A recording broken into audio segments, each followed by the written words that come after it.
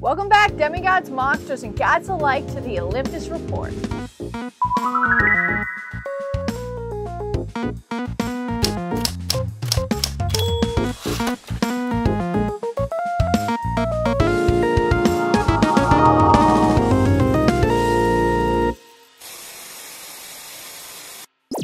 Always busy here at camp. Let's see what's new with Camp Half Blood updates.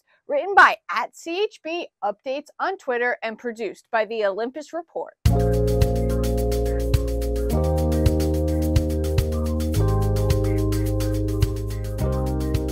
Campers, good news all around. Thanks to the combined efforts of Cabin 13 and Cabin 20, the zombie infestation has been taken care of. So you don't have to fear leaving your cabins anymore. And just in time. Attention! Thanks to some children of Khione, the lake is ready for skating. So strap on those skates and just have fun for once. But not you, Cabin 9. You're still on theoretical thin ice.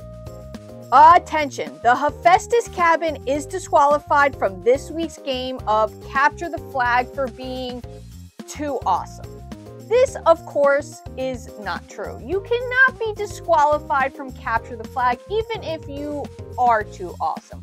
I have a feeling that Leo infiltrated the update. So you are in fact not disqualified from Capture the Flag, and you now have bathroom cleanup duty, Cabin 9, so have fun. Campers, with a new year, consider a new you.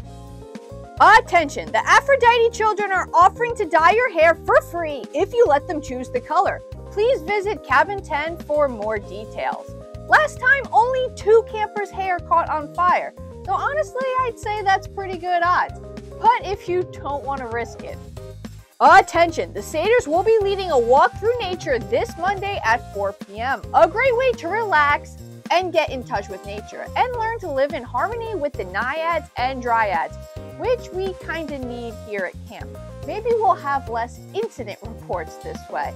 Well, I guess a relatively peaceful week here at Camp Half Blood. What more could we ask for? So until next week, I'm signing off, and please always remember to stay safe.